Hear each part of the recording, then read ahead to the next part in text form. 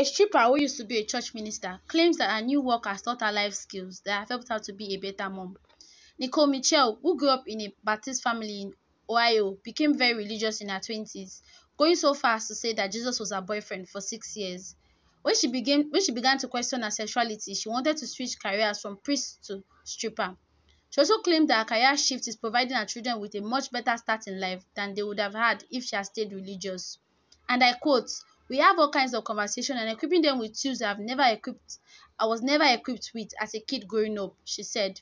It is now so important to me now as a mom to teach my kids these things so they have these skills for a lifetime for dating, relationship, for their working environment, for who they become, whatever they end up doing, these are life skills everyone needs.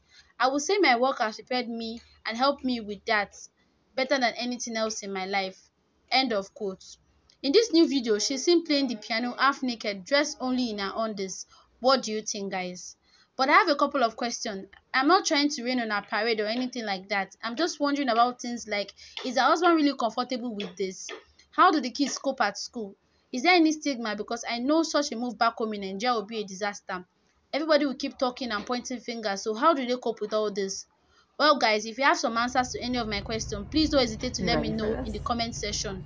Don't forget to subscribe and turn don't forget to subscribe to everything on TV and turn on post notification for eye-popping lifestyle news.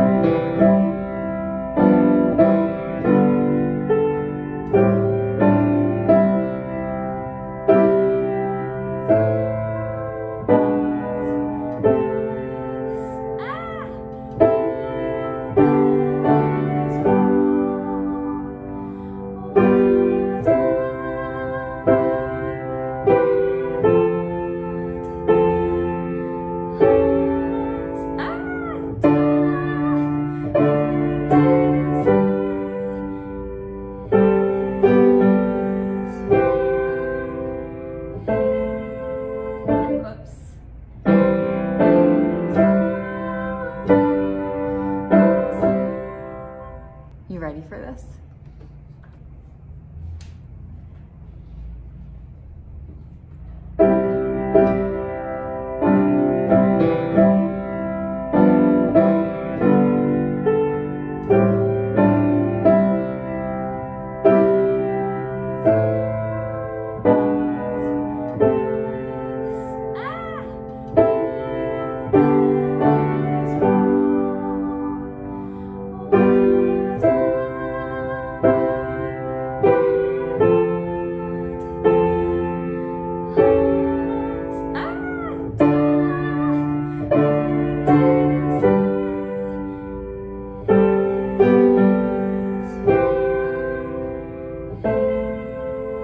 You